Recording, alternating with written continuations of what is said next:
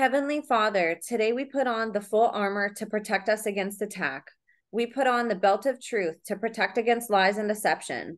We put on the breastplate of righteousness to protect our hearts from the temptations. We put the gospel of peace on our feet to walk in your light, peace, and freedom with the Holy Spirit. We rebuke anxious thoughts. We take up your shield of faith for protection to block and destroy all the darts and threats thrown at us by the enemy. We put on the helmet of salvation to cover our minds and thoughts, reminding us that we are children of a mighty king. We are forgiven, set free, saved by the blood of Jesus. We take up the sword of the Spirit, your living word, that has the power to demolish strongholds and is sharper than any double edged sword. We come to you, Lord, in prayer daily. In Jesus' mighty name we pray. Amen. What's up, you guys? Welcome to The Imagination. I'm your host, Emma, and today we have back on the show for the second time to share her testimony in full human trafficking, SRA, torture and mind control survivor, anti child abuse advocate, podcast host of Unbroken, speaker, author, writer, and walking miracle, Max Lowen. Max was born into a multi generational trauma based mind control family and was the daughter of diplomatic parents. Her abuse began at birth with the Italian side of her family, where her uncle ran a secret underground facility in Rome with underground tunnels that connected to the Vatican. It was through these tunnels that she would be taken to the Vatican, where she would bear witness to and experience horrific and heinous abuse and crimes as a child. And through the diplomatic connections of her parents, she would be subjected to child trafficking, satanic ritual abuse, torture, and mind control at the hands of Italian and European elite. Max's testimony shines a bright light on the global deep state political machine and is an important puzzle piece to the bigger picture. Max's abusers did everything they could to break her, and little did they know the only thing breaking would be the cycle of generational trauma. For it was Max who had the courage to say no more and who stands here today unbroken and whole. She now has a podcast that is ironically and fittingly called Unbroken, where she interviews survivors and truth warriors who dare to break the curses placed mm-hmm. upon them by their captors by speaking their truths for people who have eyes to see and ears to hear.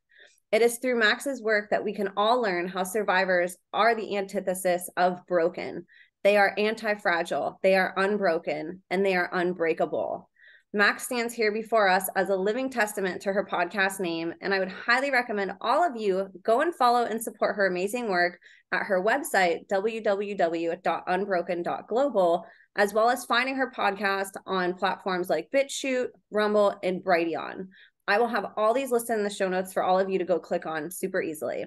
The thing I love most about Max is how unbreakable she is. She not only carries her own story and testimony on her shoulders, but she so selflessly carries the weight of a million other survivor stories and testimonies on her shoulders through her work as a podcast host and podcast guest. Her voice shaking the Luciferian kingdom like lightning bolts that continue to strike and burn it down, story by story, testimony by testimony, word by word.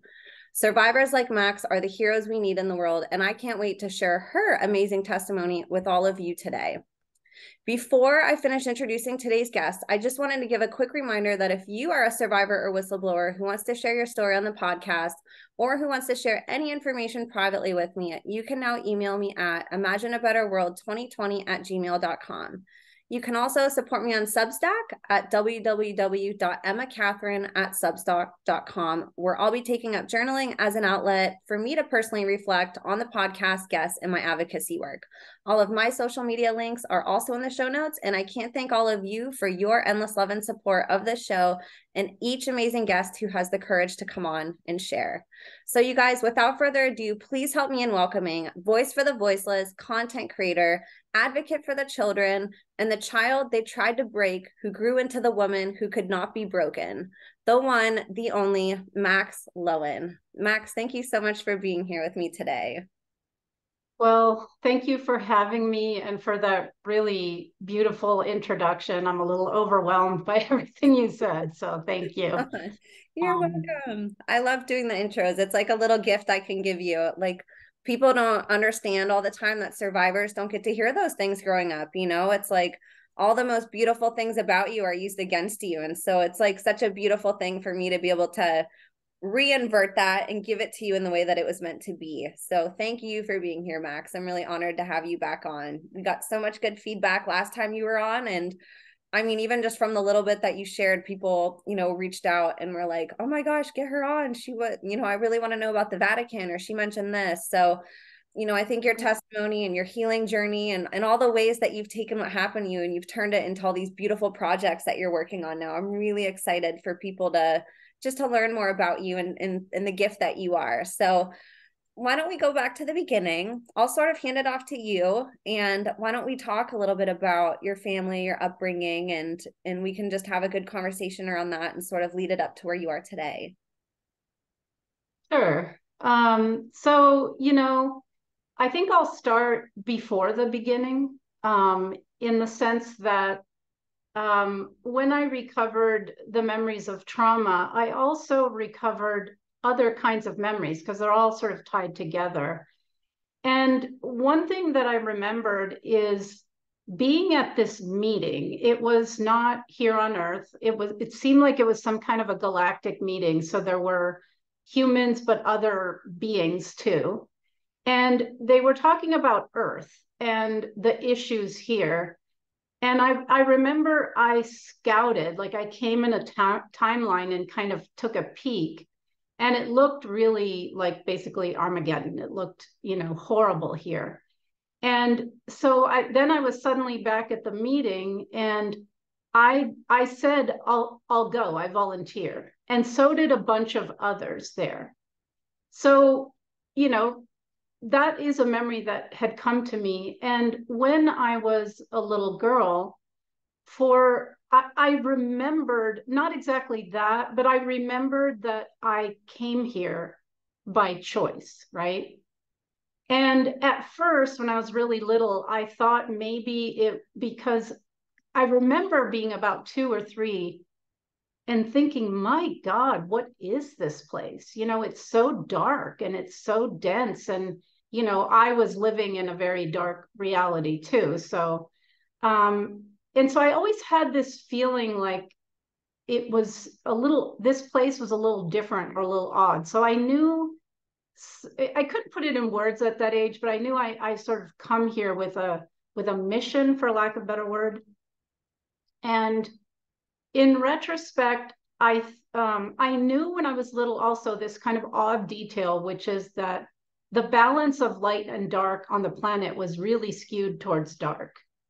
And, you know, there's a lot of information out there, and I don't claim to know the exact truth, but I do think that was the case that this was an experiment in balance between light and dark. And then, you know, it really tipped in on the wrong end towards dark. So I feel like I kind of like absorbed a lot of that dark in the situations I was in and sort of kept it in my body until I was old enough to process that and let it out. And it's like a transmutation of light into dark. So I feel like that was one of the things that um, that I did that was important. And then the other thing is, you know, and you alluded to that in your introduction. After all that I went through, which I'll talk about, um, it only makes sense to me to a few years ago i i was motivated to just tell by god to tell my story um why? Because children today all over the world are still being abused in the ways that i'm going to describe. It's it's really that's the one thing that still hurts me. I have a really good life now but i think about that. And so i think there's two really important things that all of us need to do. We need to do our inner work, the shadow work, you know, the healing work, because we're all traumatized to some degree. It's a continuum, right? And when we do that, when we heal, we we kind of recover ourselves and we're full of potential. We have much more potential than we're told by the outside authorities.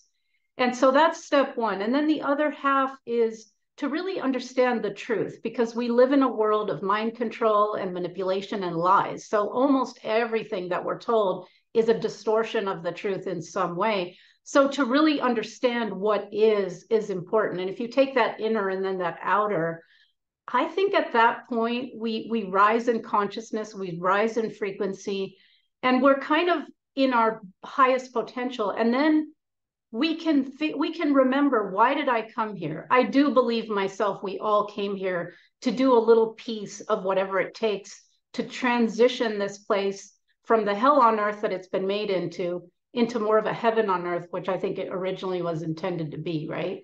So just wanted to start with that. I love that. I want to make one comment too about point one that you had. They were both beautiful. When we do that inner healing too, then we ensure that we're not passing on trauma, you know, because that's yes. really, even if you've only had a little bit, you know, if you're just continually in a bad mood or maybe have, you know, a temper once in a while, like that still affects children, you know, or bad eating habits, whatever it is, however we're mistreating ourselves because of not healing.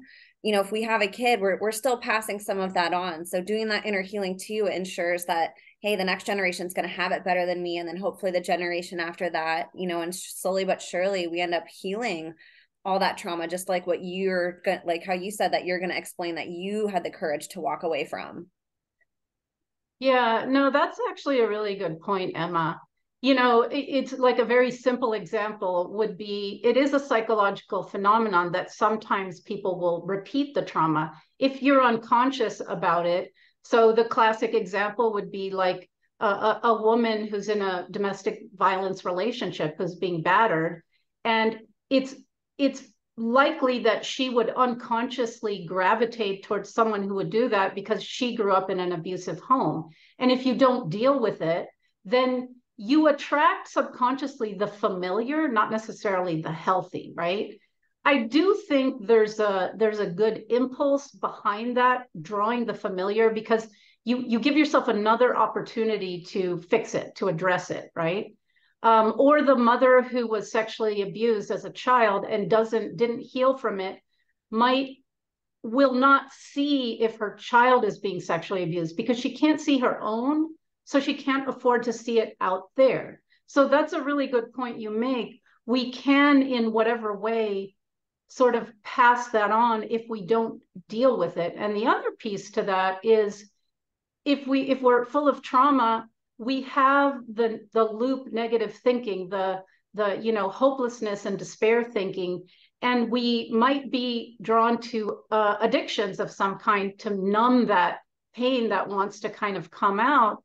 And then all of those i mean even emma every thought we have this is like this is something i think about every day. Every thought we have goes out into the world. We're all interconnected. It has a frequency and it so it adds to the outer collective consciousness so we really want to be careful to be as you know positive and it doesn't mean to ignore what's negative so we can look at something and go, oh God, you know, this is happening. But then the attitude should be first, like, is it triggering me? Let me clean out what's in me that's related to this.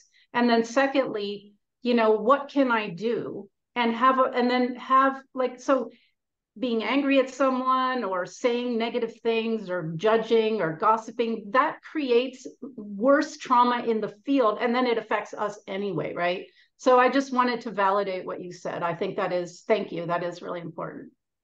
And I love that those are your inspirations, you know, and hopefully people on the other side too. I know not everybody's in a place where maybe they can come out and talk, or maybe they're not even out, you know, but just hearing, seeing somebody like you who is on the other side saying, Hey, my life is pretty good now. You know, it's not perfect, but it's good, you know, and, and I'm able to live this way because of all the work that I did, you know, and seeing that from you I know gives so many people hope who are feeling that that that that's impossible. You know, so I appreciate you sharing that because hopefully it gives somebody on the other side courage to maybe talk about it or to to you know take steps towards the same healing that you did. Yeah, I think we all have healing to do, and it, and it really makes our lives better. I mean, I'm so glad that I did the work I did, and it's still ongoing. You know, I don't think we're ever like done. I, I my therapist, I remember a long time ago, I, I may have asked a question like, you know, will I, when will I be cured? And she said, only hams are cured. so I think that's a good one. Like we're always working on ourselves because we can always go to a higher and higher level, right? So yeah, definitely. And if I can come back from what I'm going to describe, then any of us can, you know, it's it's it's hard but it's so worth it rather than carrying all that it, it's kind of like walking through life with these heavy, heavy suitcases full of your issues. Well, if you unpack that stuff and take it, then you're then you're lighter, you're freer, you know, and you can actually make choices based on what's in front of you rather than what's in your past. Absolutely. Yeah. And it gave chills down my spine whenever you said that you had that vision that you chose this life, you know, and it almost chokes me up, honestly, because people are going to hear like what type of a life that you chose to step into, you know, for the better of humanity and like how important the work is now that you're doing to bring awareness to this. Cause you're right, it is still happening, you know. So why don't we start talking about about your life. I'll let you start wherever you want, but I want people to understand the life that you chose to be here for and your amazing purpose that you have now as a healed woman. Yeah. And so I'll just preface that with because um, somebody once said to me something weird, like, oh, you chose to come and be abused. And so I just want to clarify I chose to come, as many of us did, to be God's warrior. It's like if you enlist in it, it you want to serve that's why you come. So then these things happened, but uh, my intent was to come and serve. So I just want to clarify that. I didn't I didn't want to be brutalized. Um, yeah. So yeah, so I was born in uh, in 1964, and um, at the time, uh, my dad was a Marine, so I was born in a in a base in Southern California, and my mom is Italian, um, and he got sent to Vietnam when I was uh, a baby. And so my mother has clearly been abused herself. She's a very fragile person. So even not having my dad there threw her into a depression.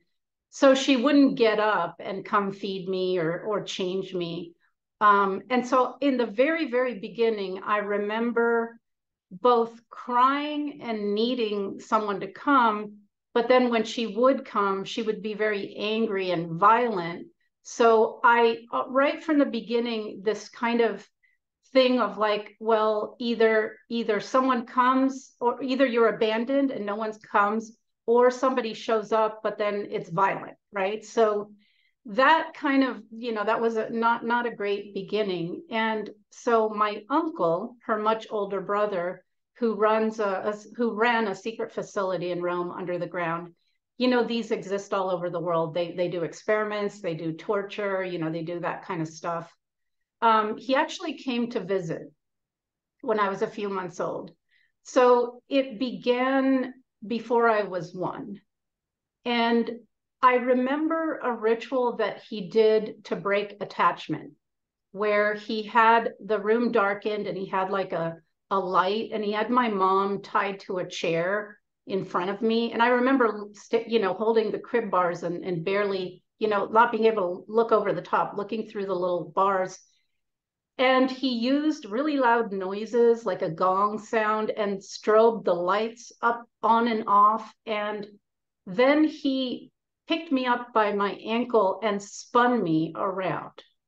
So I since much later learned that that spinning technique is something that they do that they use in MK Ultra. So it, it helps shatter the baby right away into fragments and you know it puts in this and you know even today as you know because we've talked about it sometimes I get vertigo and I I think it's related to that that thing um, that happened to me in any case, so right from the beginning, he wanted to break the attachment bond, which was already fragile between me and my mom. And um, so sometimes in the countries I lived in, he would show up and do things. And then every Christmas break and every summer, my mom would take us to Rome, um, where he was and where the facility was. And then when I was 14, and my parents divorced, we moved there with my mom full time, just just setting up like the kind of access that my uncle had to me. Um, when my dad came back from the war, uh, he joined the the foreign service. You know, became a diplomat, um, and we were living in Chile at the time, and this was right before my dad um, returned. My uncle then did another ritual that that I that a memory that came back for me in a church. Um, the church was empty. It was just my mom and her, at the time, her parents and siblings were living there because her father was also a diplomat. Um, and so they were in the pews of the church, and I was about two, and I was taken and put on the altar. And um, they had a, a metal cross that they heated up and they laid it right here on my chest so it i can remember the smell of burning flesh and just the the pain of the heat and there was a priest there and my uncle and they were kind of doing some kind of ritual i you know i'm not clear if it was like pledging me to satan or what it was but they mix the you know supposedly christian thing with the satanic. So they do these twisted things um, with that. And then I was put in a uh, very small coffin and they put the lid on and they left me there overnight. And part of the ritual, again, was to show me that they owned me, not my mom, because they couldn't, they were there. I'm sure it was traumatic for them to have to be there and witness this.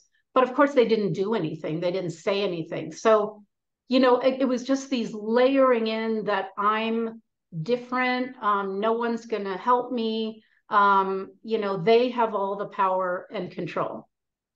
Um, after that, uh, we moved to Lesotho, which is a little tiny country inside. It's landlocked around uh, the country of South Africa, but it's its own little country.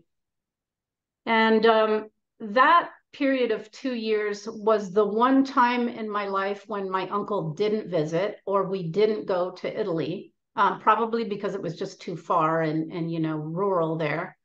Um, and I had a, a nanny, a Basuto nanny, who was really, really good to me. So I had these two years from like three to five where it was okay besides my mom. So then my mom, I think, was I don't know, programmed to do this or if she was acting out her own trauma, but she would do things like burn me with cigarettes or, you know, try and like smother me with a pillow or just generally beat me or just tell me that, you know, that I was the, that I was bad, you know, that kind of psychological stuff. But I had this counterbalance in uh, my nanny. Her name was Loretta and I still remember her vividly because it was it was the one time that I experienced this safe love, you know, from somebody. And um, I remember the when my mom and, and dad said, Well, we're going to move, we're going to go to the next country. And um, I was devastated at the idea of losing her. And she took me outside uh, one evening. It was dark and we could see the stars in the sky. And she had me lay on the ground and look up with her. She held my hand and she said um, that I had to hang in there. And she said, she said, look at the stars and tell me what you see. And I said, well, I, I said, oh, I see like a whole bunch of them shooting down to the planet. And she said, yes, she said, those are all the people like you who came here. And she said, if you stay alive, because later you're going to find all those people. Yeah. Oh my God. And it, so I never forgot that. And it was one of the things that kept me going. And Emma, I have found those people. I have, there's you, there's all the people that helped me with Unbroken, there's all the incredible people I've interviewed I, I feel like, wow, that actually did come true, you know? So, and the day that uh, we left, um, it was this rinky dink airport with a, you know, one of those little tiny planes. And uh, I remember clinging to her and I told my mom, leave me here, you know, you guys go. I wanted, I want to stay with her. Um, but, you know, that wasn't possible. So they ripped me out of her arms. And I just remember my last memory is looking out the little airplane window and seeing her getting smaller and smaller and smaller. It just, you know, it broke my heart, but I'm grateful that I had that experience. And um, so I'll just pause here in case you wanted to make any comments or ask questions, and I'll go on. I think that's amazing. The story about the nanny. You know, I hear periodically about just seems like you know god inserts an angel somewhere in, in, a child's life just to let them experience love So they keep that with them as they're going through everything. And that's such a blessing that you did have that. Have you have you tried getting in contact with her or did you? You know, I have an idea that I want to um, go. I have no idea what her last name is. My parents claim they don't remember. Um, so, but I have an idea that I'm going to go there and I'm going to find her somehow. So she was maybe 19 or 20. So she would be, you know, maybe in her late 70s, early 80s. She's probably she could still be alive. So I do have a goal to find her. yes. Really magical. So sweet. I appreciate you sharing that story too, because that is I mean, we should all look at life that way and try to find the stars, you know, and, and that even in mm-hmm. the dark, there's still those little glimpses that we can hang on to, even if it's even if it's through a cloudy day that we have to find them, you know, just to know that they're there. I think that's beautiful. Now, you had mentioned your mom, you think, was also under trauma based mind control. So, do you have um, any ideas of maybe that running on her side of the family generationally, or how, or how that sort of infiltrated her family? And then, was it on your dad's side at all? You know, I don't know. Uh, I do believe it was at least two generations on my mom's side for sure. Um, they were um, in they were in World War II. They were uh, in a concentration camp for a while. Um, so there were some. There's these stories, but the that family won't. They won't really talk about it. Um, so it's full of holes. I don't. I could never get the right story. Um, my dad's dad was also was an American uh, Foreign Service officer, and my two grandfathers, the Italian and the American, were at the same time, uh, my American grandfather was amb- US ambassador to Libya, and the Italian one was the general consul. So that's where my parents met. Um, now, the family is political, going on both sides generationally. So that is a factor. I believe I was programmed uh, for politics. Um, I have a photographic, audiographic memory. I speak uh, three languages completely fluently and a few others kind of fluently.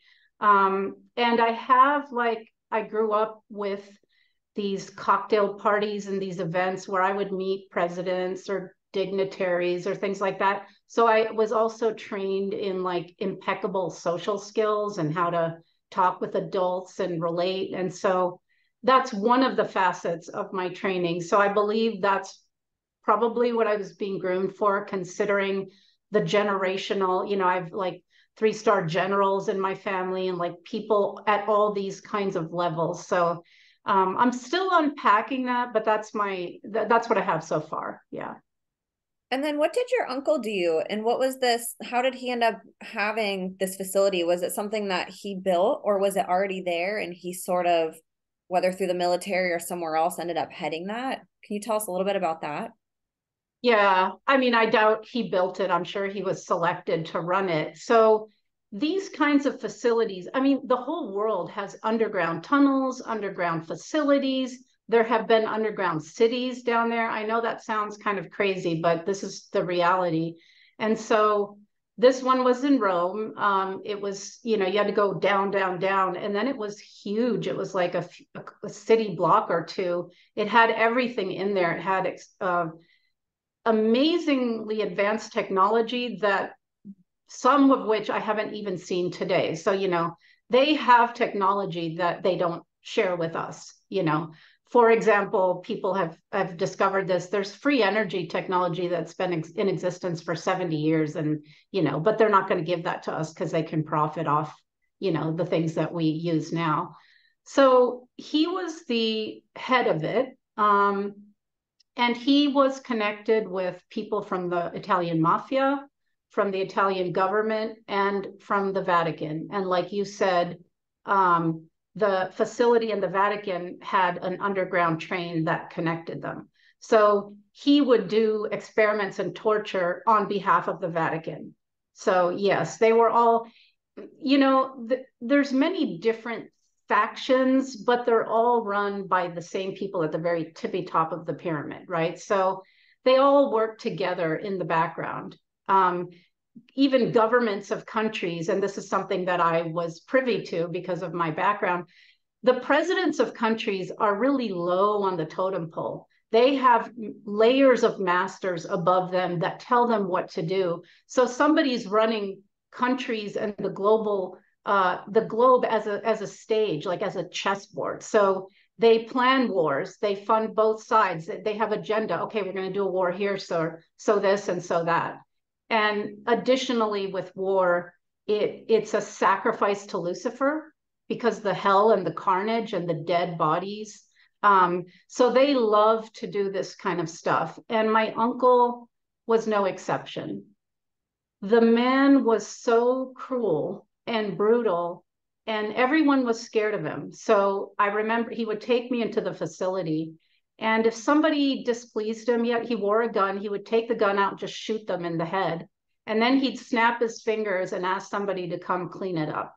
So he was ruthless. I believe, Emma, that he was inhabited by um, a demonic entity. I believe that they do this. These elites uh, do this. They do these rituals and they invite demonic entities to inhabit them um, to give them power and then wealth and fame. And so that's why I think it's so hard for people to accept that these kinds of people will rape babies, they will cook and eat babies, they will do horrific tortures to children because see we can't imagine that but that's because we're human and we have a connection through our heart to God. But these people, many of them have willingly chosen to sever that connection and instead to give themselves over to Lucifer to the dark. I know this sounds like some kind of movie or novel, but I swear to God that this is real because I saw it with my own eyes. I would be taken. And so the Vatican has like sub levels and not even the levels where they have like the tombs, but even under that, they had this room with a huge marble altar. And I witnessed this myself. They took me there and they would have people standing around the altar, and it would be the popes because there's more than one pope. There's the one that shows his face to the world, and then there's others. And then there's, um, there were like VIPs of whatever, you know, ilk and they will bring in a baby or a small child and brutalize the child so that the the terror and the adrenaline is is going in the body and then they had a special knife and they would cut the child while alive from here like down and the blood would start to flow and they had these chalices at the four corners of the altar where the, the blood would co- collect and if the child, often if the child was small, they would literally pluck out the heart and eat it. So, and then they would drink the blood. Now, people, if they've done their research, will have heard of adrenochrome. Um, this is done in almost like a factory manner with children, and the blood is labeled by quality and age of the child, and it's sold. So this is actually an industry, a hidden industry, but I witnessed it being drank just live in this ceremony. And what they were doing was making this offering to Lucifer. And I could feel these entities coming into the room and inhabiting the people. It they weren't corporeal, but you could sort of see a dark smokiness and then mainly for me, it was this feeling of cold. It was like a cold that's undescribable in the room all of a sudden. And so I wanted to illustrate that example because they do these rituals still today. They do them, they're, they, they use astrology. So they use the full moon. Um, Halloween is a big sacrifice time, um, etc. like the major holidays and they will do these kinds of rituals to bring more dark energy into themselves and into the planet. Um, I'll describe the facility a little bit too. So I was taken there a lot and I was put through torture. And when I say torture, it was a lot of electric shocks, you know, electrodes in different places, um, uh, things like being locked in. He had this like walk-in giant freezer where they would hang dead bodies and dead animal bodies and i would be put in there for long periods of time um, i would i was buried alive uh, once that i can remember um, with dead bodies so you know like and left there to freak out for a period of time um, obviously you know rape rape and beatings and things like that um, the worst for me was uh, he had a whole section where he had animals in cages. And I was made to walk through this section. It's like a, a U, like an L and, or a U shape. And um, I'm going to say something kind of horrific, so just brace yourself. But I saw a calf, a baby cow, that they had um, taken its skin off and they were dripping acid on it and it was screaming. Um, there were all these animals in various stages of torture. And the other one that really left an impression on me was a cat. And they had like a, a metal spine, and, and the cat was like um, held on this thing. And it was like a see through tank, and the bottom half had water in it and there was he pressed a button and lowered the cat into the water and put piranhas inside the tank so that the cat would basically be eaten alive and there's more but i'll just leave it at those two and so i would be made to watch these horrific things. Um, he once brought a pregnant dog in and sliced her belly open right in front of me. Um, torturing animals, torturing people, um, murdering people, and um, and then I'll I'll pause, but then I, I would like to talk about the uh, the experiments that were done on me. Um, but I'll, I'll kind of take a pause here. Thank you for sharing that. That is how you said, you know, people have a hard time believing this because it does sound it's beyond what anybody can comprehend. It's beyond what we see in horror movies. It's beyond where our imaginations can even can even fathom to go. You know, but this is real and like you said there are this is still going on, you know, whether it's the same person doing it or if it's passed on to the next person in line, you know, this has been set up that way for so long. And it's so disgusting and horrifying to think that just I mean, some place like the Vatican too, you know, and, and around it, surrounding areas. Like this is an area that that gets prestige in society. These are people that get held on pedestals. You know, the facade is is for people to marvel at it. People travel there just to go drive by and see it, you know, and people stand in line for miles just to see the Pope go by, you know, and it's so inverted how these things are presented to us. And so obviously when presented with conflicting information than what the public narrative is, it's really easy for society to just not want to consider that because it shatters their reality it shatters everything that they learned since they've you know been alive essentially. But this is the hard truth this is the reality you know this is going on underneath the feet of of tourists walking and taking pictures. Underneath there's there's children you know and more. There's people that are you know being forced to abuse children like you know it doesn't excuse what they're doing but you know this is a cycle and so you're doing an amazing thing by speaking out on this so we can break it, you know, and break that narrative and, and really show the people that are ready for it what is lurking under our feet and in the darkness. Yeah. And, you know, that's, it, it's complicated because, and, and the Vatican is a beautiful work of art. I mean, I've seen it all, of course. I lived in Rome for many years. And it's, it's definitely something to be a, a, appreciated for what it is it's not and and and see people think that they're worshiping god. And but the, that it's that twist you know so they they trick people into feeling like this church is good and it's of god. But really underneath the jesuits are one of the most brutal group on the planet you know and you can add the freemasons and the illuminati and you know these they're all part of one you know order. But that's the fact you know they so they that's what they do. They they put this veneer of god and jesus and whatnot but then really underneath it is satanic. They are satanists. And i i think you know i don't want to say people religion is comforting for people you know? And and and if you're if you're getting together with your community and you're uh, praying or worshiping God and you're good, you know, that's great. I'm just saying that there's a lot of stuff behind the scenes and manipulations. And so, one thing that I've thought of is okay, so why is Jesus Christ, who I believe is absolutely real, why was he portrayed as a dead, tortured corpse on a cross? Why not portray him smiling and like alive? Right? So right there, you've got to, I won't, I won't give my opinion. I'll let people ponder that. Okay, what is that? And then there's communion. And again, the idea of communing with God is a good thing. But you're eating the flesh and drinking the blood. That's what the Satanists do. Okay. They're cannibals and they're vampires.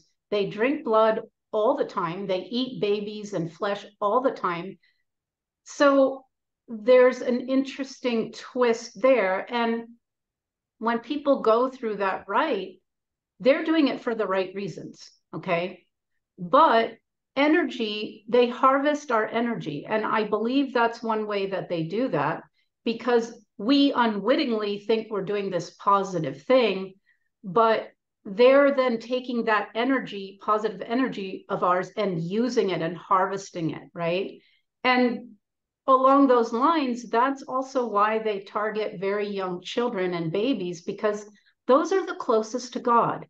If you've ever had a child or known a child, they're pure, they're angels, they're vulnerable, they're full of love and trust. They're actually how human beings are made to be before this world, you know, twists and distort us with all the stuff that goes on. And so they want to take that pure life force energy and steal it from children and then secondly, they hate God. So it's basically an FU to God, right? Um, so yeah, so I'll I'll pause here, but yeah. Yeah, you're absolutely right. It's an inversion and it's so easy to fall for because it could be 99% truth, but it's that 1% lie, you know, that that twists it and gets people sucked into the wrong thing and then eventually 1% turns into 2, you know, and it just it leads down this really dark path. So you're absolutely right with that. And I'll let you continue. I didn't uh I know that that we got a little bit off track of what I wanted to comment on what you had said, but I think you were saying you wanted to talk about the experiments. Was that it? Yeah. Okay. Yeah. And and this kind of goes into later I understood, oh, this is MK Ultra. Of course, when I was going through it, I didn't know the names for any of these things. It was just what was happening to me. Um, but there were many kinds of experiments where like I would have this metal helmet placed on my head and it had wires coming out and attached to some machinery. Um, there, there was an instance actually when they were doing that, and I concentrated really hard and I fritzed some of the connections. They sparked and they had to sort of stop it at that particular moment. Um, but a lot of things where I would have to, they, they had these like they had virtual reality, and this was in the 70s, right? So these things that you wear, like a big mask and and and things that they play and audio stuff. Um, I would be uh, made to say really, I would be told I had to say these really horrible things about myself into a, you know, a cassette tape recorder, what they used back then. And then they would play that and make me listen to it with headphones. So it would be like my own voice programming me to tell me how how, awful I was and this and that. Um, some of the experiments were, uh, I guess, psychological, but horrific. Um, there, I was always wanting. I would I would see this this girl that I would say was my friend. So she wasn't corporeal, but I think I had some, you know, psychic ability. I did have psychic abilities. So I would see this girl that I would kind of would give me comfort and she would be like with me. And I said that, you know, in my innocence. So, you know, there was a time when my uncle put me, the facility had a bunch of rooms and they had uh, two or three walls that were completely glass so that the scientists could watch, you know, what was going on in there all the rooms had drain holes on the floor with hoses to hose off you know, blood and, and guts. This particular room had a, had a ceiling to floor fan, big fan. Anyway, he had said if I did something, he would bring the, a girl to play with me. And so I was all excited, and I saw him walking down the hall with a, a, a girl towards the room. And right before they got there, the fan went on and he pushed her through. And so she splattered all over me. Um, and I'm sorry, it's I know this is really horrific, but this is what they do. Um, and that was to show me, you know, I'll never have anyone. I'll never uh, have comfort. I'll never have a relationship. He inculcated in me that it's my fault that all these people die. And I did believe that for a while. Um, he would capture gypsies because in Rome they're undocumented. So there's going to be, you know, no one's going to miss them. He would kidnap them and bring them into the facility and do all kinds of tortures and things. And so there was another uh, point where he brought, he had captured this woman who had two twin babies. And um, I was supposed to go through this long obstacle course and figure out how to get from here to the other side with the babies in my arms. And the, the it's hard to describe. It's like a long rectangular room with windows. So the mother would be looking through the window, and I would be like have to go through a pit filled with cockroaches or like you know these these things and climb things. And basically, he said, if you make it to the end with the two babies, then I'll give them back to the woman. So that was my motivation. I was like, I'm going to save these babies. Well, at the end, it opened into this huge aviary. Um, I mean, you know, stories high, and there were vultures there in there. And of course, they had been not fed. So by the time I got to the end, exhausted, I could not prevent the vultures from um, from getting the babies, you know, and and tearing them to pieces. So yeah. So again, then he would tell me, well, you know, it's your fault. You could have saved them and, and, and you didn't. Um, there would be experiments of impossible choices. So he had this bigger room, again, still with the drain hole and just empty concrete room. And he brought in like 10 or 12 um, people, they're gypsies, and that one was a little girl with her mom, and the rest were adults. And he had a gun and a desk there, and he said to me, um, You either shoot one of them or I'm going to shoot all of them. Right. So I said, No, I don't, I'm not going to kill anyone. And he said, he would pick up the gun and say, Well, I'm going to start shooting him. And I said, No, no, no, no, I'll, I'll, I'll shoot one, you know. And then I was going to shoot one person. He said, You have to shoot that one. And it was the mother. And I, I thought, No, you know. So anyway, I thought, okay, I, I'm gonna I'm gonna do it because I want to save the other people. Again, this impossible choice. So I shot her and then her daughter's face, you know. And I I I, I couldn't bear it. So I merc- I shot the daughter too, just like to for me, it was an act of mercy. And, um, you know, then he said, oh, you, you did it wrong. You failed. And then he took the gun and shot them all anyway, you know, and, you know, would lock me in the room again overnight um, with all of them and the, their blood kind of draining down into the, the, the drain hole in the center. Um, so things like this you know they're experiments to break me to um and he would tell me um you're gonna i'm gonna make you just like me um i'm gonna make you just like us. You're you're you, and then he would say you're a killer. You killed you know even though yeah. it was set up that way. And um but i have to tell you emma when i heard him say i'm gonna make you just like me something in me vowed I, it, it was like a, a steel core that developed in me and i was like no never. And he shouldn't have said that because that was something that kept me going. And i i used everything that i had to stay alive and to get through that and to never turn to the dark. So he made a great mistake in telling me that. That actually became like this little core of me that was really, really strong and kept me going because I said, no, I will never, you know. Oh my gosh, that's so horrific to think about. And then witnessing that, like at any age, you know, but a child, and then thinking about just how, like you said, how ruthless and vile your uncle was to just, you know, be so psychotic that he has no shame in doing any of this. You know, were there other children there besides you, or was this just something that he did with you? Well, he did it with me, but he sometimes had other children there. Um, there was this little boy that was older than me that he had brought in, again, a gypsy boy.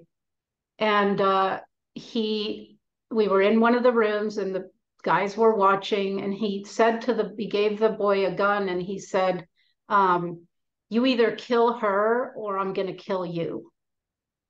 And I remember he was sobbing and crying, and I was like right there with him. And I, I said to him, you know, it's okay. Like, you can go ahead and, and shoot me, you know, like do whatever you need to do. And then he was saying, no, I, I can't do it.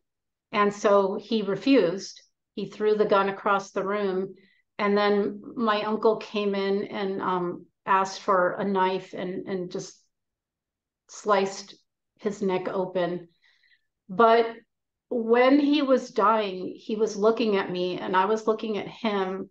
And I understood in that moment that he had just graduated because he had made the right choice. He he wasn't going to do that. Um, so that was kind of I tried to hang on to any kernel of hope that I could. And often in the facility with the people that he was killing or torturing, I would lock eyes with them and I would like connect with my heart just because I, I have this idea that I don't want them to die alone or thinking, you know. So I would do my best to have little moments of connection within that horrific uh, reality. Oh my goodness. It reminds me of this um this one book that I read before called Man's Search for Meaning by a guy named Viktor L. Frankl, and he yes. talks about that. And it that book really changed my life because you know we go through life and we suffer, and and obviously you suffered on this whole different level. But he, for people who never read that book, he experienced life in the Holocaust and was at a concentration camp and was one of the few that lived through concentration camp after concentration camp. And later wrote a book about this exact thing that Max is talking about, where he said, I had to find a meaning in my suffering. I had never been challenged to do that before. You know, like usually we just sulk in our suffering, it passes. But what what about when it doesn't? You know, what about when you're just in this perpetual cycle of suffering? And he would notice the people that gave up hope and didn't have that thing, that that little morsel to hold on to, he could almost predict who would die in the concentration camp. You know, and so he had to find a meaning in his suffering. And he said, you know, we have to find just as much meaning in our suffering as we do in the things that are good. You know, and he gave this quote, and I'll read it. It says, Between stimulus and response, there is a space. And in that space is a power to choose our response. In our response lies our growth and our freedom. You know, so even if it's just that morsel, like that morsel eventually led to your freedom. It was something that you could hang on to, even though it was so vile. Like you have this murderer, this psycho telling you that you're going to be just like him, you know, and and somehow that at such a young age you held on to and were like i'm gonna this is gonna be my motivation. When i don't want to keep going i'm gonna hold on to this and i'm gonna remember that i'm never gonna be like him. You know and i love that you brought that up because i i think that's what survivors do. You know you find those morsels.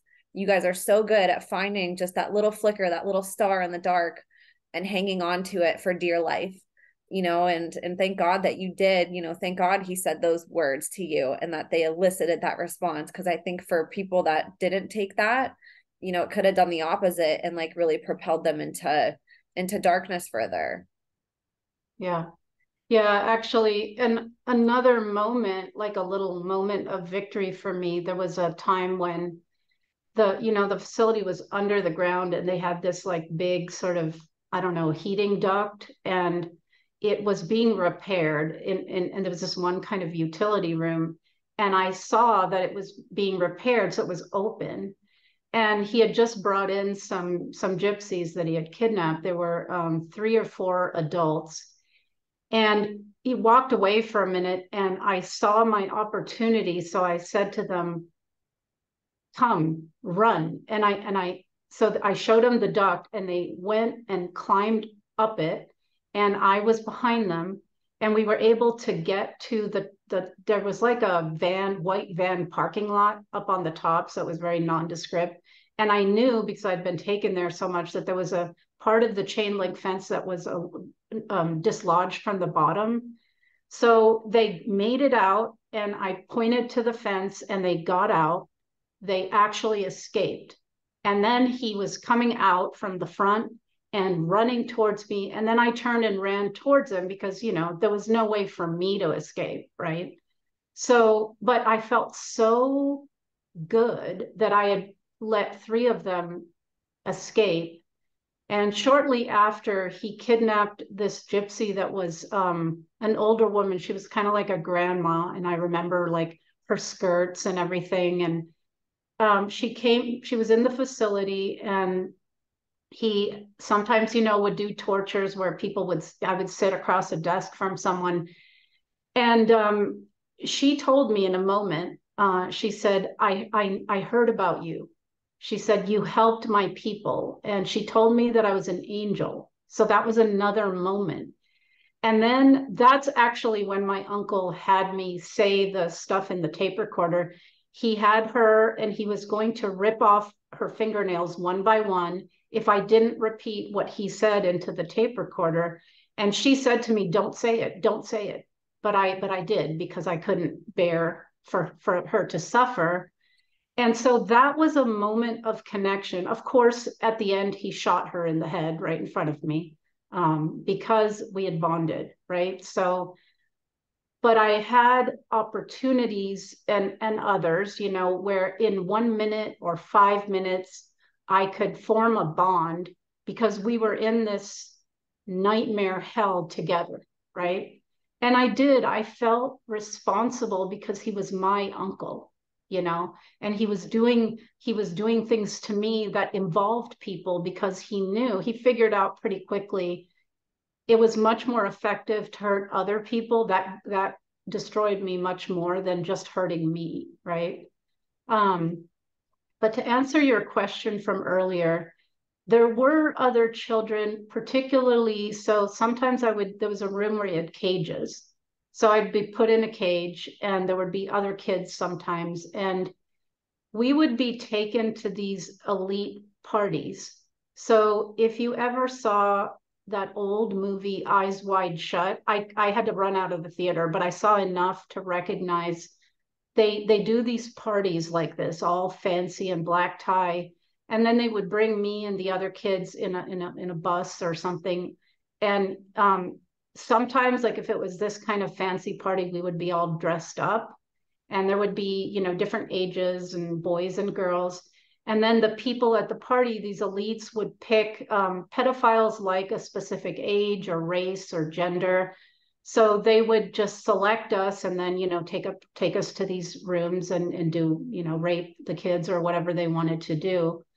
Um, sometimes there would be these outdoor parties like on grounds. So there would be some trees and some nature and they would sometimes strip the kids naked or sometimes um, put on like some certain costumes and then we were to run and hide in the woods because it was a hunting party, and we, the children, were the ones hunted. And so it was terrifying because you knew inevitably they would find you, you know. And at the end of the evening, they they would have this big party table, and they would always take at least one child and um, you know sacrifice that child. Um, I witnessed at one of these parties um, they somebody had a very long old fashioned sword and they took two babies and basically impaled them on the sword alive and then were swinging it around and i want to emphasize that they think they were laughing and drinking and doing drugs and this was um, fun for these people. Yeah. Absolutely horrific. You know, and and your story validates so many other people who have said these things that just seem so out there. You know, human hunting. You know, it's like we make movies number one at the box office about that. You know, it's that one movie called um The Hunger Games you know yeah. that's essentially like a human hunting entertainment people are in the theater eating popcorn you know it's like they're mimicking that and it's so sick you know but and then of course it, it brainwashes people to think well that that can't happen in real life. And it's like yes it is you know and at, at these really big estates you know people's massive yards and these these properties that people drive by and oogle at and say gosh i wish i was that rich and i could live there not knowing that right in the backyard you know there's there's children on just being you know just the most vile things being done to children in those woods you know? So i appreciate you sharing these really hard things max. This isn't i know it's not easy to talk about and i'm so sorry that you had to bear witness to all of this you know but your your voice is speaking on behalf of them. Like their deaths aren't in vain if you are able to shine a light on it. And so i appreciate yeah. you talking about it because it is really hard.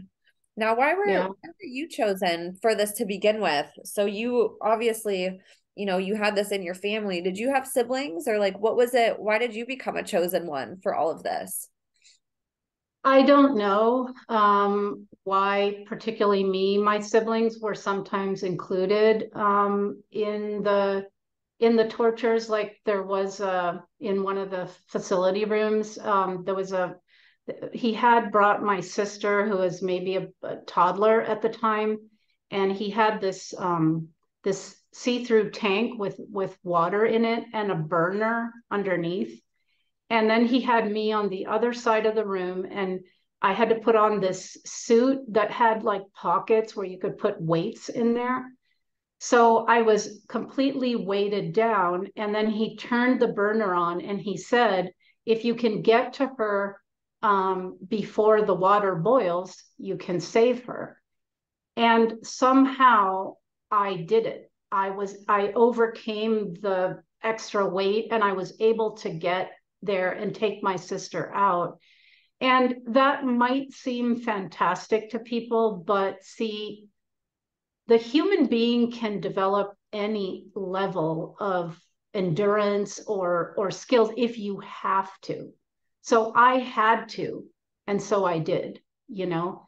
Um, I had self healing ability in my childhood. So, you know, once he he hammered and broke all my bones, and then they would study this, and I would be able to fix my body within a certain period of time.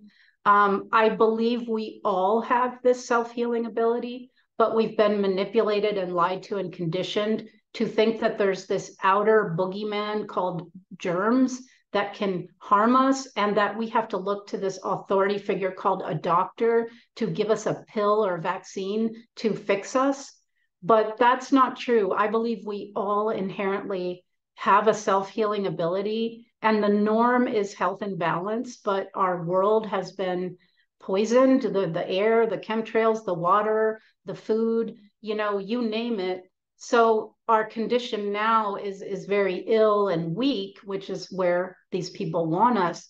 But I believe everybody has this self-healing ability. So sometimes he would use never my brother. Um, so just sometimes my sister with me, sometimes my mom. Um, yeah, so it kind of depended. Um, and I just want to mention kind of a last piece of kind of the darker things I want to describe. Um, you know, I was trafficked, so I was given to different elites, um, and I would go to stay. They would I would be at their homes for I don't know how many days, and I remember that feeling of just not knowing when I was going to be able to get back and get out of there and that has carried into adulthood where I've only in the last year conquered that. I, whenever I traveled and stayed in hotels or Airbnbs, I wouldn't be able to sleep. I would have panic attacks all night because I was in an unfamiliar place. Eventually, I realized what that was, and I, have been able to actually overcome that. Um, but a last thing I'll say is um, in terms of the the sexual abuse, the rape, the trafficking. Um, he had done a, a, bonfire ritual with me when I was 14 at night. Um, and they brought in cages of animals in this huge fire, and I was laid on a blanket and drugged with a drug where I was fully conscious, but I couldn't move a muscle. I couldn't even talk. And, uh, you know, then he had me basically gang raped by a whole lot of men.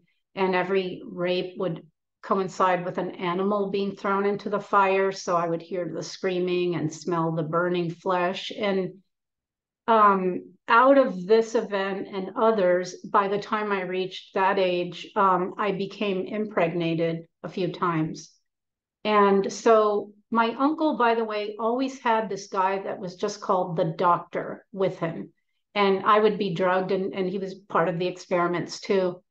And they would wait till I was almost at term and then do a ritualized abortion. And so one of them was at the doctor's home. He had a courtyard and he had a, um, some fig trees. And so I was um, nailed to the fig tree Jesus style, and electrodes were on my breasts and my genitals, and I was pretty pregnant. And then my family was made to be eating, it was Easter. My family was be, made to be eating lunch at an outside table. So again, that kind of like the church, you know, kind of like, and I was there for a while and I was just sweating. I couldn't move because the nails were ripping into my hands. And then they took me down and took me into the bathroom and put me in a tub of ice water and handcuffed me to both, they had the two faucets, handcuffed me and the doctor gave me an injection. And then a little bit later, and they left. And then I, I, I felt this pain and saw blood in the water, and this tiny baby float up. And I was able to free this hand and scoop it out of the water, just like made eye contact, you know, for a few seconds before he died. Um, and so that's kind of there's many, many more things, but I just wanted to share that one because these people they they they have young girls, young women, and they're captive. They're kept underground their whole lives, um, and they're used as breeders. So they can they will have impregnate them. They will have these babies, and these are the babies that will be used in the rituals. The babies that will be um, you know, offered to Lucifer, the babies that will be cooked and eaten. And um, so I just wanted to mention that because that is a factor in what these people do. And, um, you know, something interesting is I hadn't remembered that memory. Um, I was pregnant with my daughter. I have a daughter who's 20 now. And when I went to give birth, um, it was like 26 hours, and I was pushing for four hours, and she wouldn't come out, and there was no reason. In retrospect, it was my body remembering and saying, I'm not letting this one out because they're going to kill it, you know? And so I ended up having to have a cesarean. And then, you know, I was in the hospital room and I remember the nurses trying to convince me to put her in that little seat, you know, plastic bassinet on wheels. And I was like, no, I had to have her on my body. And then they took her to do the, I don't know, whatever they do, the washing and the like stuff. And within minutes that they took her, I started to have a huge panic attack and I was screaming. And my husband was like, What? What? And I was like, She's dead. She's dead. They took her. They killed her. Now, I didn't remember that incident. I didn't even know why I was saying that. Right and so they you know they rushed her back and i basically you know i wore her for the first year of my life i quit my job and i raised her full time and she's an incredible human being today and and, and basically the love of my life but um, i wanted to illustrate that because you know so i have my baby now and she's safe and she's never been harmed and she's had love and she's had two good parents and you know, so I'm very grateful for that. But I just thought that was an important last piece to share because they they do this, you know, unfortunately I've talked to other survivors who had who have had forced abortions at term. Absolutely. You know, and that is a question that I've had people ask me a lot is like, okay, if they're doing this, where where does the supply of babies come from? You know, and that is one way. It's very similar to what they do with dogs. You know, they they have dogs that they pick because their genetic bloodlines are so pure and they can produce these show dogs, these perfect, you know, picture perfect puppies that, you know, have cognitive abilities, physical abilities, you know, and they humans have that same thing in, in these people's eyes. Like there's a superiority chain of hierarchy and how they view humanity. And most of humanity is the scum of the earth. But then there's these few people that are in these, you know, these these cults like what you grew up in, who are the elite, who are the ones that have the superior bloodlines and the ones that they want to keep in captivity and breed because they're they're going to match them up with the perfect genetic, you know, makeup that's going to elicit the best response for something like a you know whether it's a super soldier somebody that goes into the programs whether it's a sex slave or whether it's a sacrifice you know the, the perfect concoction of this. Like Nathan Reynolds, another survivor, he calls it radical intelligent evil. And that's exactly what it is. Like it is evil, but it's not in the way that is seen in movies where it's like this careless, random evil. Like it's a very scientific, thousands of years old, systemic, organized, orchestrated evil that is actually intelligent in those ways just like how we see like i said with with dogs you know that's intelligent too to be able to to breed dogs in a certain way that's going to give you the, the perfect puppy for whatever it is that you know they want that dog to do. You know so i do appreciate you saying that because i think with especially you know um the female aspect obviously like that is something that almost you know i would say almost every female that i've had on the show has gone through it. And i've even had males on my show who are like hey i was used as a male breeder you know my genetics were what they wanted and unfortunately like that's what i was used for you know and and it is like it's so horrific to think of that you know and then to look in the real world and say you know that's basically what they've now made it they brought that into the real world and introduced it to us and they made it legal in certain states you know and and really like it's a satanic ritual that society is participating in at these planned parenthood you know facilities and stuff you know and again like where do those babies go right? And so there's it's a whole rabbit hole. So i really appreciate you shining a light on that max. Like that is a huge piece of this puzzle. That's a big part of these missing children. You know where are they going after they're in cps or whether you know like these women that are held underground just to be breeders? You know this is a really big deal and there's so many lives that are just held in captivity those women you know imagine a life where that's all that you're used for. And then these children you know and, and none of their voices are heard. So you're giving a voice to so many people by sharing this these absolute horrors that you had to participate in. Yeah. And you know it i think you make a good point. So i want to sort of highlight that everything we see out there that's done to animals like cows and pigs and chickens are kept in all on top of one another. They're they're raised in a life of torment and torture, and then they're brutally killed for their meat. It's a parallel. Okay, they do this to human beings. They see us normal human beings as cattle, as um, useless eaters. They want to kill off the ones that are not you know that's why during the last few years there was a campaign to you know put the thing in the body of the elderly first and the handicapped they uh, the genetic experiments that they've done with plants and with animals they have always been doing on us. That thing was a genetic experiment um, and they've done them in the past so that's nothing new. So even you can even say that like a, a country would be like a ranch and the people are like the cattle and they they feel like they're free. They're roaming around eating the grass but they have fences around. And yeah they're being fed and taken care of because they serve a purpose right? So every horrible thing that's out there that's done to animals you it's then maybe less hard to believe that this is also done to human beings behind the scenes right?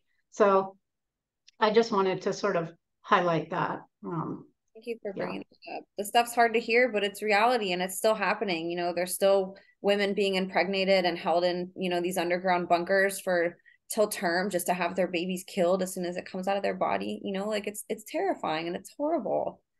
And yes. so for you, um, Max, you know, and I don't I don't want you to have to talk about anything else really difficult if you don't want to, but where does where does this story start to take a turn? What age were you when when you maybe separated from this or how did you get out of this in a sense? And i hate saying get out because i don't feel like a survivor ever does. Like there's always you know whether it's technological warfare whatever you know like these people they're they're relentless in trying to keep you as their property you know however they can. But when did the story start to shift for you or maybe you you separated from your uncle or how did you get away from this so, you know, my parents divorced when I was 14, and then I was full time in Rome. So he had access to me sometimes during the year and then up and then from 14 to 18 all the time.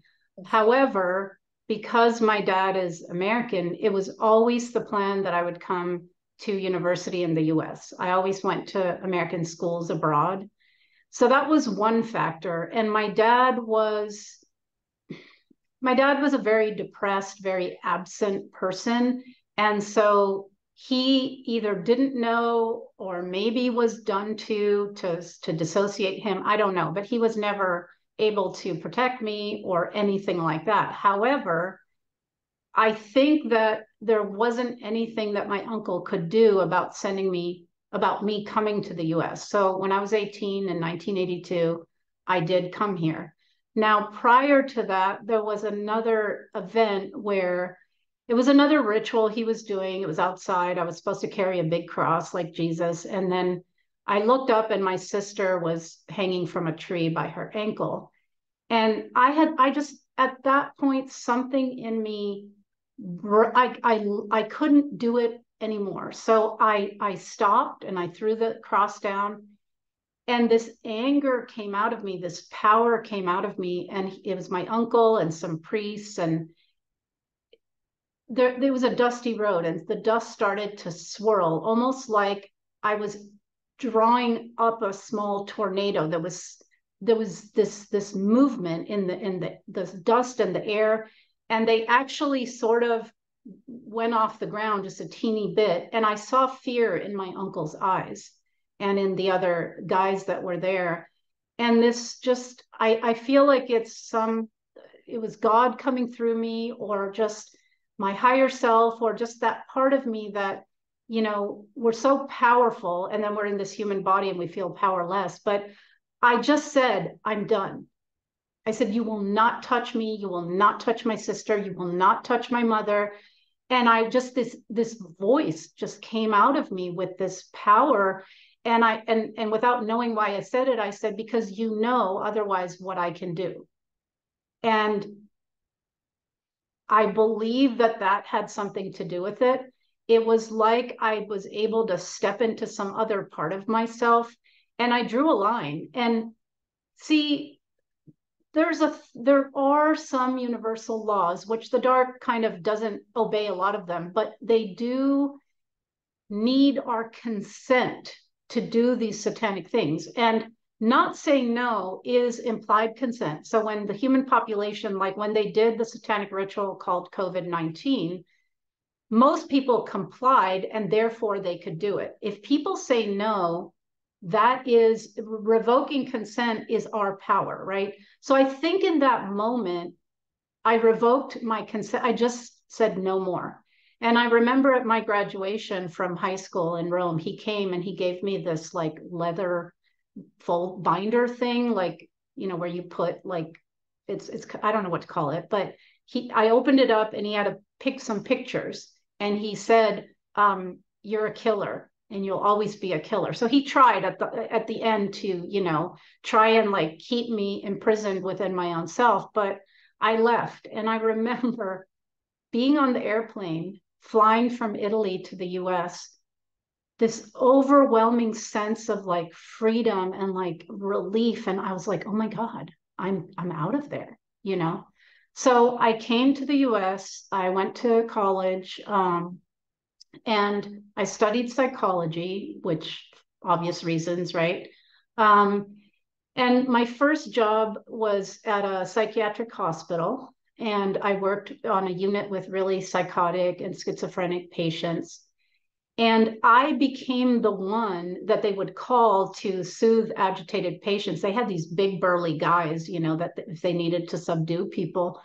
But I wasn't scared, you know, with everything I'd seen, that was, you know, that was nothing to me. And I I had this ability to see the real person, the soul of the person behind the mental illness. And I actually loved that job. And so that began my healing because I finally could do something. I had seen my uncle do all these horrors to people and I had I was helpless and now here I could help people. And then I worked with uh, homeless um, crack addicted folks in the inner city in DC. It was a community mental health center. And they were supposedly Axis 1 diagnosis along with an addiction. But after a little while, I began to see, and I told my, my boss, I said, these people are traumatized. They're not crazy, they have trauma. So actually, she listened to me and began to look at it differently. And um, we ended up co-writing a um, a manual for how to do trauma work, group work with this particular population. And you know presented at conferences and everything. And then she sent me to be to get training in trauma. So by then i was about 25 so i got some really good with the best people at that time. So now my training was really in trauma. I went back to school and i got a master's degree in psychology and then eventually i did a doctorate um, but then i would work um, i ran a batterers program after that so it was men who had been arrested for committing domestic violence, and they could choose jail or my six month uh, men's group. So they took a chance hiring a young female to run this.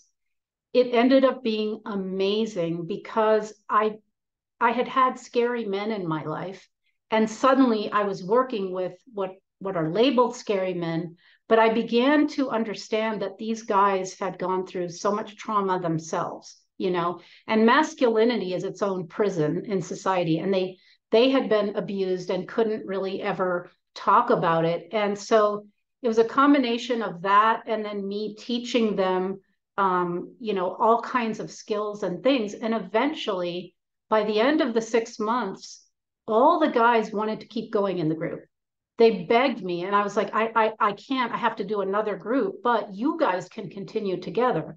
And they would tell me that the environment with those other guys was the the the deepest intimacy that they had ever experienced. And you know in, in group 1 they were all you know i said we're going to go around and you're going to say the incident that got you arrested or any other domestic violence incident that you did and you know they would say oh no she made me do it and and i would say look you know we have to break through the denial it's just like addictions that's the first symptom you're going to do that or I'll call your probation officer and you'll go back.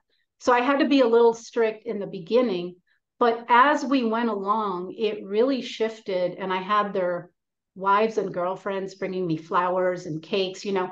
And I loved doing that. I loved it. And I learned that both men and women were all abused by these people societally. We all come from some kind of trauma. And again, being able to help men who had scared me before heal and transform was a huge part of my healing. Um, I then worked in rape crisis centers. I worked with abused abused children, and I worked in the in the prisons and in the jails. Um, and in I worked in the San Francisco jail uh, mental health unit. Um, once I had moved to the West Coast and, and done my doctorate work, and there was this young kid, he was 19, and he had come from a family of drug addicts. So he had been sexually abused by all the people coming in and out of the home, had run away, ended up on the streets of San Francisco, and was basically selling himself for sex. A guy had picked him up. They had done drugs together. The guy had asked him to drive his car, and the kid crashed killed someone. And so, not the guy who hired him for sex, but he ended up in jail, as usually is the case. And this kid, you know, in the in the mental health unit, um, that people weren't treated very well. I insisted on taking people out and having them in the room. and doing actually therapy with them. And this young man, I realized they had diagnosed him as bipolar, they were medicating him. And I realized, oh my God, no, he's a trauma survivor. And with time, he he really, really healed. He went off his meds and then he was ready to be released. And before he left, he told me that he was going to study to become a counselor and help other kids such as himself, right? So I just give these examples to say that was a huge piece of my healing because I was able to do something and help people. And there was nothing too dark or scary, obviously, for me to to hear. you know, I'd been through it all myself. Um, I had gone into therapy uh, during those years, but never quite dug down to the more horrific memories. Those do that. Like, what were you aware of? Because you hadn't remembered everything yet. Did you sort of remember like some sexual abuse and just some? Yeah. Yeah. I remembered some sexual abuse. I thought it was just in the family. Um, I remembered the the violence, the you know the my mother being very unstable and crazy, my father being very absent, that kind of stuff. But the the rituals and the facility, I didn't remember. I had things though, like I was claustrophobic. I couldn't be anywhere that was underground. Um, certain things triggered me. I just didn't know why. Uh, so it's interesting. The body does remember. Um, it took uh, getting pregnant with my daughter and then having her. And once she was born, you know, I couldn't work and I didn't know why, but I had to be with her all the time. I didn't trust her with anybody else. And it when she was about four, the memories started to break through. They started to come out in nightmares. So I would have nightmares like I described the animal section of the facility. So I had a nightmare where I was in a shopping, uh, a, a, grocery store, and you know the um, produce section where they have like boxes, they have apples or whatever, whatever. In the dream, there were animals being tortured in the supermarket instead of the produce. Well, that was a literal, that led to the literal memory. I would wake up screaming, sweating. I would have to change all my bedding. Um, sometimes I would run to the bathroom and not make it. So my body would just be in, in the, the, the, memory, the, the nightmare was so severe that like I would pee myself. Um, so being trained, you know, and uh, having trained in psychology, I thought, okay, I better get someone to help me here. Something's happening. And I was able to find a therapist. She was very non traditional. She was actually a master's in divinity, but she had heard about ritual abuse. Now, I still hadn't heard about ritual abuse. I didn't know that, that was, there was a name for what had been done to me. Um, but so I ended up, she was, bless her heart, ended up talking to me. It was on the phone which ended up being perfect because I think face to face would have been too threatening for me. Um, and she was ended up talking to me every day, which you don't do as a therapist, but she recognized because for me, it was like when the vault opened, it's different for other people, it's different for everyone. They were just shooting out, the memories were just coming out um, at night in nightmares or during the day. So when I would talk with her, she would just say, like I was imagine that I'm sitting in a movie theater and looking at a screen, and then I would just look at the blank screen, and then within a few minutes, something would start to to be there, and I would start to sob and cry or scream, or this rage would come out of me. I would sweat so badly. So my body was releasing, my emotions were releasing, and I was putting together pieces, memories, and all of a sudden, little by little, everything in my life started to make sense because it had been like a puzzle with chunks missing, right? And um, that's actually also when a suicide program opened up in me. I had been programmed that if I ever told, I should kill myself. And I've said this to you before, I think, where I would go to the train station and, and the train would come and the voice in me would say, jump, jump, you know, and I just wouldn't and then I get back in my car and drive home. And so there was, it was really brutal to recover the memories, to feel the emotions. to be so suicidal until I overcame it. And I've talked with other survivors about this. I, I felt crazy for a while because I'm, I was like, well, how can I not have remembered these things? Like, I don't even know who I am, you know? But it took 10 years, but little by little, all the story, you know, and I had to put together the, the narrative. I had to feel the emotions and my body had, I would, I would tremble, I would sweat, I would throw up. And eventually everything kind of settled and I was able to kind of step out into a whole new person and free of all of that. And so yeah so that was kind of that therapy was sort of like a really significant process. And during that time i picked up boxing which later became kickboxing and, and muay thai because of the rage and because i had been created there had been alters in me. One was like a warrior so i needed and i still do that so i need to do that kind of fighting, it really helped me process that. And also, my body, who had not been able to fight back, now could finish that motion. Um, so that helped. Um, being able to raise my daughter with love and protection and just in you know just have her um, i've always had pets um, i love being out in nature and I became really good at observing my own thinking and my triggers because I suddenly would get triggered by something and I learned, okay, that always leads to a past memory. So when I would be triggered, instead of reacting to the person in front of me, I would I began to know better and I would like, you know, remove myself from the situation and just sit and then it would lead back to something in my past. So after the therapy, that's how I've continued to like pull out pieces that are still in there. And um, I do a whole process where I retrieve that child part. And I've created a metaphysical, beautiful house with like, uh, there's a beach and there's dolphins in the water and there's elephant nannies and there's forest because I love trees. So each part that I retrieve, I put in this beautiful space. So I take them out of the past. And um, you know, little by little, I'm I'm so much better today. I still have little things, but I used to be so scared inside all the time. Like when I would go to bed at night, I would start to think somebody broke into the house and I would have to compulsively get up and check all the windows and the door to make sure they were locked, even though I knew that they were because I had done it. And I was just always, I couldn't sleep at night. Now I sleep um, so many things in my life are better. I was always scared that my daughter would be kidnapped or something would happen.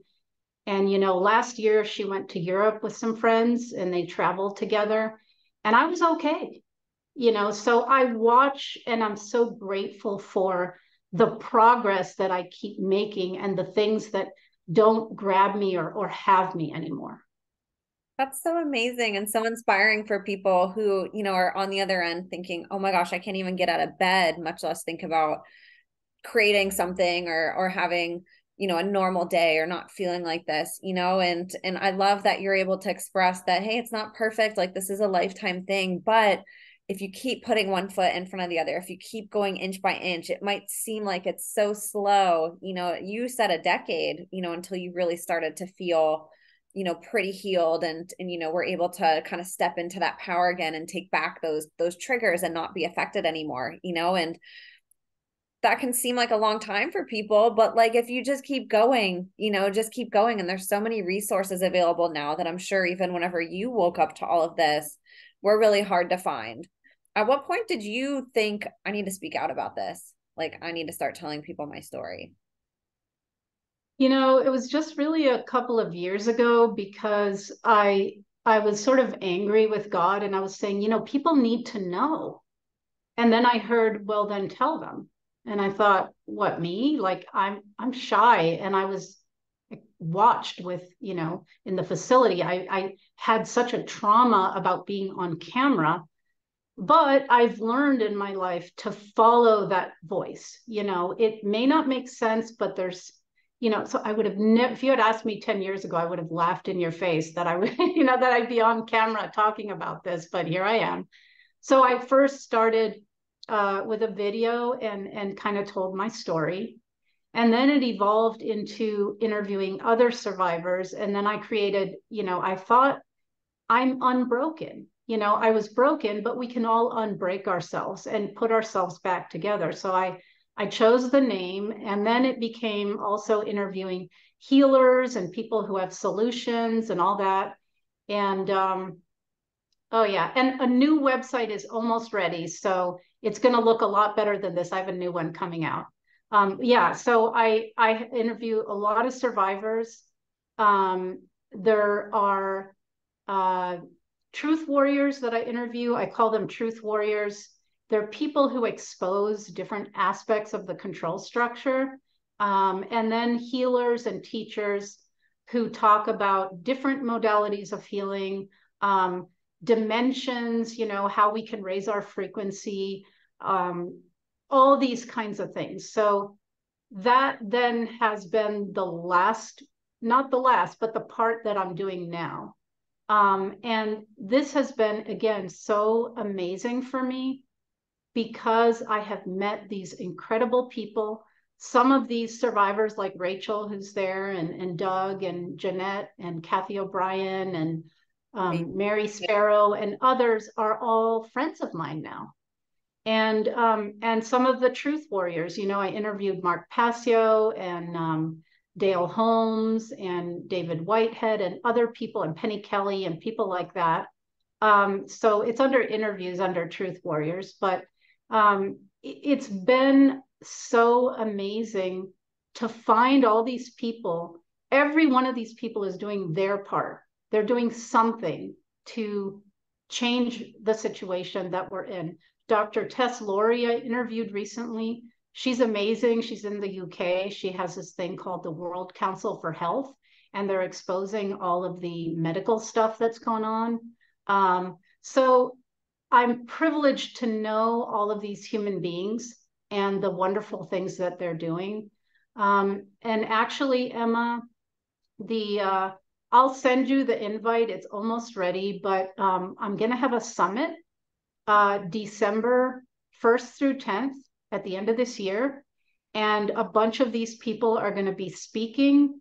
And my goal is to have all these brilliant people, survivors and truth tellers and healers come together in one forum. And it's the, the theme is mind control, healing and recovery. And how do we go forward? What can we co-create out there in the world that's better and different than the, than what we have right now? And so I'll I'll be sharing that with you and and you know if you want to share it with other people, but it's a great opportunity to come together each uh, speaker will have 30 minutes of live Q&A after, so people will be able to interact with all these folks. And I want to bring all these people together, like my nanny in Africa said. Um, I'll meet all these stars that have come to the planet, and I want to bring everyone together on the last day, all these brilliant people, so they can meet each other because we're going to form a global community of healed, people who speak the truth, who are here to help others and do their work and understand what's going on out there to make correct choices. And a lot of these folks are co creating all kinds of new ways forward. Um, so I'm really excited for that. So that's kind of the next thing um, upcoming on my list. Oh my gosh, this is so incredible, everything that you've done. I love hearing this, and you're so right. I say that too. You know, we can sit here and complain about the world, how it is, and how this Luciferian kingdom, you know, has formed against our will in a sense um, around us by the powers that be. Or we can get up and create the world that we want and just stop participating in all this nonsense that they've created for us. You know, like if we all just decided to stop paying our taxes, there's nothing that they could do yes. about it if we all stepped Absolutely. up you know don't go to work or don't do this or we're going to take away this supply or you have to buy electric cars whatever it is you have to take this medication and we all just said no we're not you know they couldn't do anything about it you know and this is like such a beautiful way to rebel against against uh you know the the powers that are trying to bring us down by saying all right well i'm not going to join you i'm going to create the world that i wish i lived in you know and i'm going to find yes. the other people who want to create it with me and we're going to overcome all your darkness because the light always wins you know and i yes. love that you're doing that and bringing these people together and even the story about your nanny you're you're you're painting the sky that she created you're going to bring that into life you know all these stars all together you're going to bring them together and bring her vision together in real life i think that's so amazing max Thank you. And you know, the thing is, um, we are more powerful than them. We the light does always win. And the real secret here is that they're scared to death of us. Okay. They are scared of us because we have the power of the true power of the light. You know, I often compare God to the sun and Lucifer to the moon. So the moon appears to have its own light, but it's actually a reflection of the light of the sun. Everything that was created on this earth that's beautiful was created by us. Okay. And they can't create because they're they're severed they don't we're like in the image of god so we're also mini creators they don't have that ability so they need us to work through us to create what we see out there. So here's the secret they don't want us to know. If we decide we're not going to create for them the dark things that they want, we don't have to. We can create something different, something light. We, if we do our healing work, if we know that what's out there, we're not manipulated mentally anymore. We so called free our mind from the matrix, because it is a matrix, right? Then we are unstoppable. They don't stand a chance. There's also a lot more of us than them. And I believe, Emma, that this is actually happening.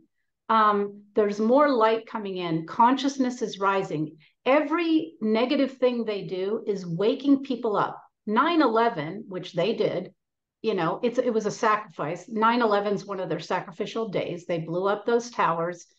That woke people up COVID woke people up. Now, climate change, that agenda is waking people up. So it's interesting to me. I think God has a sense of humor because all the, you know, they're trying to mess with the food supply and, and kill cattle and all this stuff. Well, guess what? People are now growing their own food in their gardens. So everything they do is backfiring spectacularly if you look at it with the right eyes. And I see that they're they're done. Their narrative is collapsing, their structures are collapsing. They have harvested off us etherically, they have harvested off us physically. As you alluded to, taxation is theft. It's not even legal what to, to take part of our income. People are waking up to that. So all it takes is us being healed, being whole, and almost like holding hands around the world, coming together and saying, you know what? No thanks.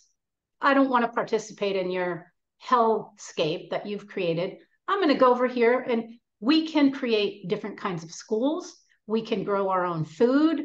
We can return to real natural medicine, which exists in a lot of places. We can do more of that. We can have wholesome, we can clean up the water. I mean, we can we can stop letting the letting them divide and conquer us. Everything's a program. Oh well it's racial or it's gender or it's sexual orientation like or religion. No forget it. We're all one human race. So we've got this and i think it's actually happening so that's what i'm excited about. And so i'm going to do everything i can to help people heal help people see what's really going on so they can make a different choice and, you know, people have said to me, Are you scared they might like kill you? And I said, No. I I will die a happy woman if I mean even now I feel like I've done enough that I'm satisfied, you know. But I'm just going to keep going cuz why else am I here, you know? And everyone is here to do this whether they remember it or not. And when you heal yourself, you'll remember who you really are. And like you said, you know, in the beginning, you chose this life not because of what you had to go through to learn the lessons that you know now but because you knew that you would learn these lessons that a lot of people don't get to and that you'd share it with the world and create the world that that doesn't exist that you would be a part of that movement and you're so brave for stepping up to do that. I am so inspired by you. You know, these stories, I'm not a survivor of these things. So for me, I'm like, the least I can do is just listen and share. But you've gone through so many things, like you're shouldering your own story and your own trauma, you know, and granted, you've come such a long way in your healing, but you could easily just have been satisfied with that. And instead, you're saying, I'm now that I'm lighter, I've I've gotten rid of some of my weight and I've integrated it and healed it I'm going to now start shouldering other people's stories and, and shining a light on other people's stories. And I think that's so wonderful, Max. I love what you've done with your podcast. And, you know, I always say survivors are going to change the world, you know, and like these are the stories that we need to listen to. Everybody, even like some of the most awakened people that I know, they're still watching their political influencers, watching politicians, watching the people that run the nonprofits and the businesses get up you know on tv and, and, tell them lessons or who are on instagram advocating for whatever and i'm just like go to the source you guys if you want to know your questions you want to get answers to them who's involved in the darkness who's not good what kind of crimes are being committed what is not being presented. Go to the people that have sat in the rooms that have seen with their own eyes that lived through the things that you're wondering. Go to them and those are survivors. Survivors are the anointed ones that that survived these things so they could set the captives free as nathan reynolds says. I always love whenever he says that you know he's like that's why i'm here. Like that's my purpose. You know i'm here to set the captives free. Like what i went through wasn't in vain you know and and that's so true. You know if if, if you survive these horrible things you pass the test like you you have a testimony you know there's a reason why the word test is in there and now it's yours to share you know and you you're you max you're doing just amazing work you know like you had mentors that helped you and now you're the one sitting on the other side saying i've come all this way and i'm going to now have that 360 where i'm giving that gift back to other people. Do you want to talk a little bit too about some of the services that you offer that people could maybe contact you for and let people know like where all you're at on social media all the different things? And i think you're writing a book if you want to talk a little bit about that just to get some hype around it. I know it's not ready yet, but whatever you want to talk about as far as, you know, where people can find you and what you're working on. Well, um I'm, a new website is is almost ready and coming out and there will be the option I've done all this for free. There will be the option for people to become members and um, there will be like live Q and A's a couple of times a month with me and other guests for the membership. Um, there's going to be an Ask Max feature where people can. I've always done this, but people can write in, and I'll I'll respond and give them advice and guidance. Um, I continue to interview people. Um, the summit is coming up. Um, I I do uh, help people as a therapist, as a healer, um, particularly uh, people who have gone through you know ritual abuse and and trauma. Uh, so that's a factor if people uh, can contact me through the website for that. Um, I have been meaning to write a book about my life um, and all of this. So that's coming probably uh, within the next year. Um, so I'll just leave it at that there. Uh, so yeah, and generally, um, I'm trying to live my best life, you know, have some uh, joy in my day. Um, I'm religious about being grateful about everything that I do have, and uh, and I'm excited to do whatever I can to make a difference. And um, I really appreciate you, Emma, and that you give voice to survivors. And you know, thank you so much for having me on today and for you know giving me the platform to talk to people um, it's it's truly been a pleasure and a joy. It's an honor, Max. Your voice is so important and you're a puzzle piece to this. You know, every survivor has a story that matters for so many reasons and it gives other clues and puzzle pieces to other people's stories and it helps them construct what happened to them and helps them understand, you know, and one thing I'm noticing even is people are healing faster because there's more and more people like you coming forth and sharing condensing what you learned in 10 years and being able to give it to somebody and maybe it'll take them two instead of 10 you know it's really beautiful. People like cathy o'brien who have their book you know and and it's amazing. Like i love seeing this community grow and people that get inspired by people like you and say gosh if max can can speak out i can too. If max can leave i can too you know and so it's just this really beautiful this beautiful sort of um leader follower type thing where you have people like you and Rachel and Cathy who are willing to go first and then all of a sudden all these people are behind you you know and like we're forming our own army. We're forming God's army against this Luciferian kingdom. And you said it beautifully they can't create they can only copy. We're the ones that can create. That's the gift that we have that God gave us that they can never take away from us. And so all of us should be thinking what can I contribute? And it doesn't have to be a podcast. It could just be sharing, you know, take an interview and share it with a friend. That's a great way to help somebody else understand these hard things that are going on. You know, I know we're all pressed for time. Society doesn't make it easy for us with this, you know, work structure. But again, like what do we want to participate in you guys you know we do we want to keep giving the news our attention do we want to keep feeding these nonprofits our money or do we want to go right to the source listen to survivors help these puzzle pieces get get fit in bring justice to to these these stories and these atrocities. Give our energy to the people who are giving us the truth for free you know and and who are creating these beautiful projects that we can fund and and hopefully let them keep doing what they're doing with with our resources you know?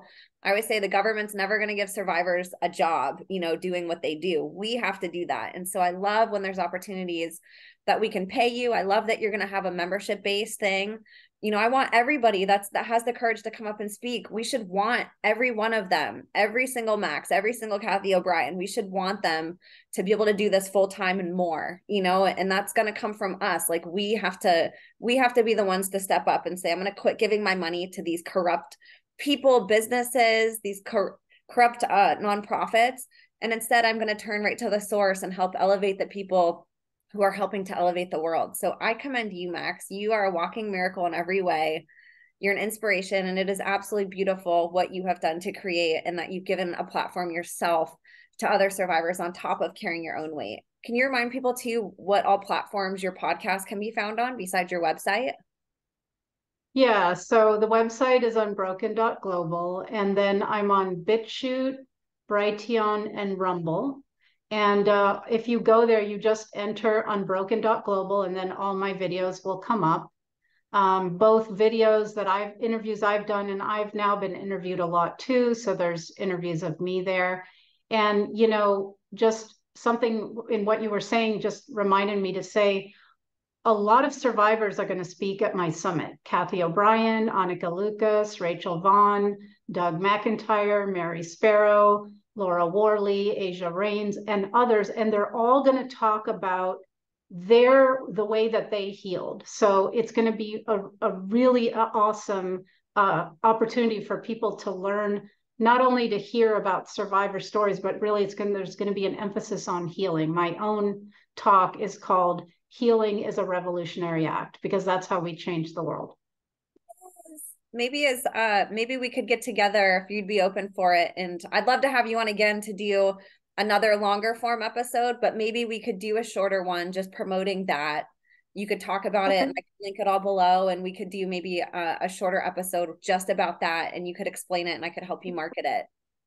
Thank you. That would be amazing. Thank you so much emma. You're a gem. You are too. This is an honor to have you on. Is there any closing words that you want to say before uh, we we wrap up for for this time? Um, heal yourself. You can. We can come back from anything. We're resilient. We're full of potential. Um, step into your power and do your little part to change the world for the children that are still going through this. Because I envision a world where children are safe and loved and have everything that they need and that is within our reach if we all take a part of it and do what we need to do. So start with yourself. Amen. And you guys go support Max. I'll have all of her links below in the show notes, no matter where you're at. It'll highlight for you guys so you can just go click the hyperlink. And right from the podcast platform that you're on, it'll redirect you to her site. Go subscribe to her podcasts you know, one of the other things I always say is it's so good to have eyes on survivors, you know, the people that are, you know, stalking them or who don't want them to be speaking out. When they see those follower counts going up, man, it makes them scared. They don't want eyes on people like Max. So go blow her up, go encourage her, go support her. She's absolutely amazing. And she features other survivors too. So if you enjoy this podcast, you're absolutely going to love hers. You guys should all go subscribe to all of her channels. And again, I'll have that below. Um, same thing with us. Thank you guys so much for supporting this podcast. I'll have all my links below. Also, you guys, we couldn't do this without you. And it's been really cool these last few years just watching you know the small amount of people that were interested even just three years ago to all of a sudden it seems like just this wave is exploding of people waking up and their curiosity is blooming and they're not scared of this like how they used to be people are now leaning into that fear and saying it's scary to look at but i'm going to see it anyways because i know it's still happening today so thank you guys all for the courage to listen to these stories and, and to stick through it with us because you see the bigger picture and understand that one day at a time and one healing at a time we can make the world a better place. So, you guys, God bless you. Thank you so much for supporting, and we'll see you next time.